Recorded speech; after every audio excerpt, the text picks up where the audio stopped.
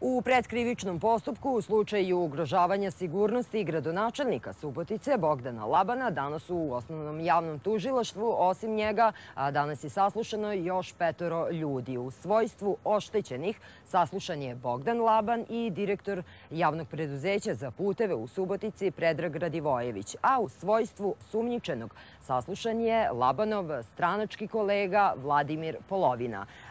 Za njihov međusobni sukob sukob koji očigledno tinja već duže vreme. Javnost je saznala tek nedavno kada je objavljen audio snimak, a koji je šokirao javnost jer se u njemu čuje da gradonačelnik Subotice Bogdan Laban na najbrutalniji način verbalno vređa i preti svom stranačkom kolegi Vladimiru Polovini. Polovina tvrdi da je te noći, kada su izrečene brojne pretnje na njegov račun, da je te noći i pretučen.